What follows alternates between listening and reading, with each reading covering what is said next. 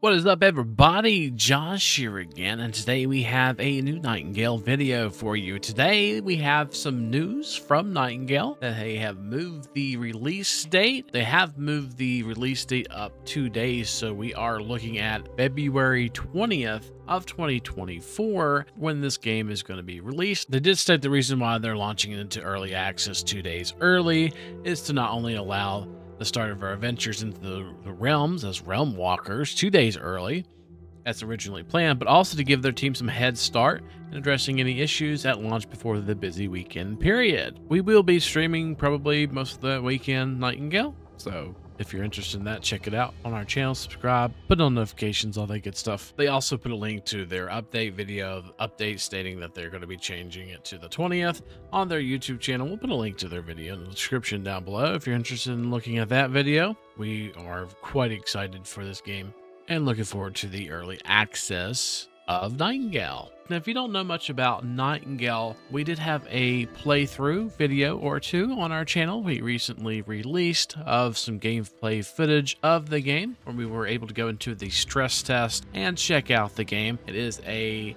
survival game and quite a beautiful one at that. Nightingale is a PvE open world survival crafting and solo game. We can play solo or cooperative with friends. You can craft, build, and fight, explore, and venture throughout the fantastical realms. You are stranded beyond our world, cut off by the collapse of the Arcane Portal Network. This catastrophe has left you fighting to survive in a labyrinth of beautiful and dangerous Fae realms. You're a skilled realm walker. You need to navigate a web of trans-dimensional portals, and discover the magical city of Nightingale, the last known bastion of humanity. The game is a steampunk style game, which means it's kind of a older industrial look to it, and endless adventure options. That's really all I have for this video. Don't forget if you like what you see to like, comment, subscribe, and all that good stuff. And hopefully we'll see you the 20th.